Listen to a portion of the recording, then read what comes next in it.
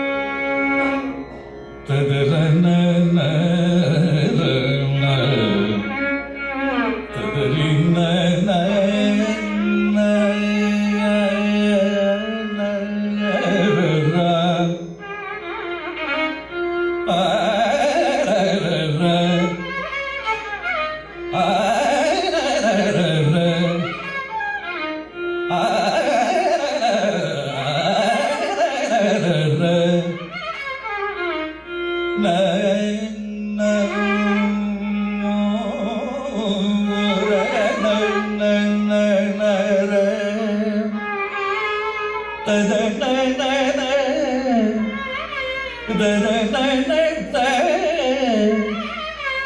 da da da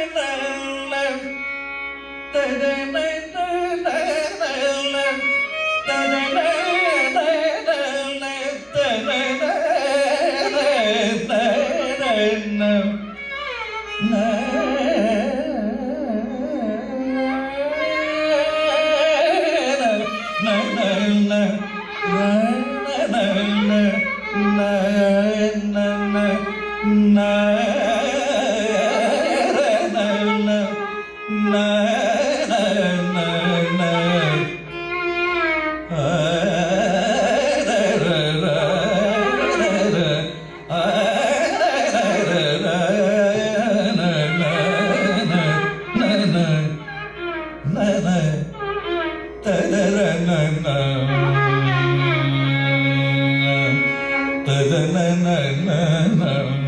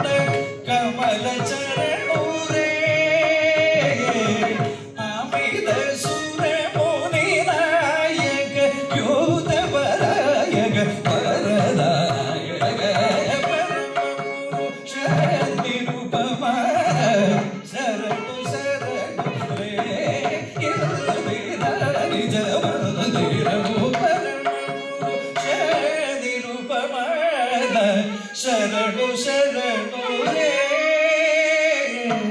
ಶರಣು ಶರಣು ರೇ